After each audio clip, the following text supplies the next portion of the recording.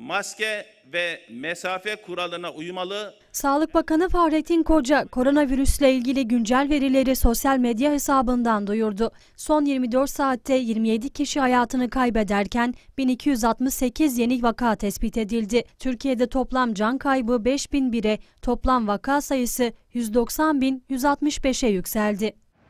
1315 kişinin daha iyileşmesiyle toplam iyileşen hasta sayısı 162.848 oldu.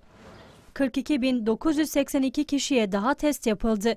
Yurt genelinde toplam test sayısı 3 milyonu aştı. 893 hastanın yoğun bakımdaki tedavileri sürüyor. 362 hasta ise solunum cihazına bağlı tutuluyor. Sağlık Bakanı Fahrettin Koca sosyal medya hesabından yaptığı açıklamada vakaların arttığı illeri de açıkladı. Koca, vaka artışı görülen kentlerden Adana'da 14, Ankara'da 21, Kocaeli'de 16 hastamız yoğun bakımda dedi.